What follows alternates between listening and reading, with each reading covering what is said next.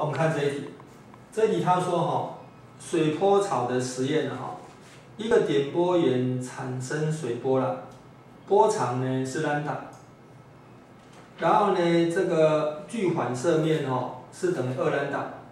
哦，就是这个点波源距反射面哈，这是二兰达。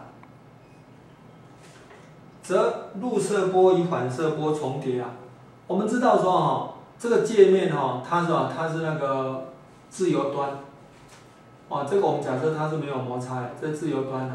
那这里是既然既然是自由端的话哈，它的反射波哈，相当于有一个那个虚的点波源哈，从这里发射出来。那也就是说，在这里的那个破坏性干涉哈，是等于什么呢？等于是哈，这两个点波源哈，在这里产生了干涉。好，那么他问说哈，那个截线总共有几条？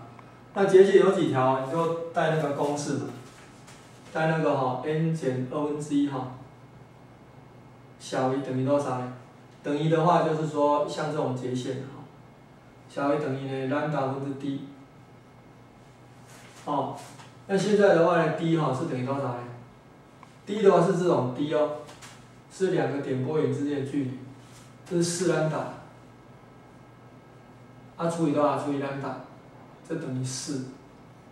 等于四的话哈，所以什么呢？所以会有四条，啊没有？n 小于等于多少呢？四加二分之一，所以是四点五。哦，那四点五的话，所以 n 就是小于等于四。哦，就是这里的最大 n 的话哦，是等于等于四，所以这边会有四条。那因为这里是虚的了，这里没有了。哦，那这个实际上是弧线。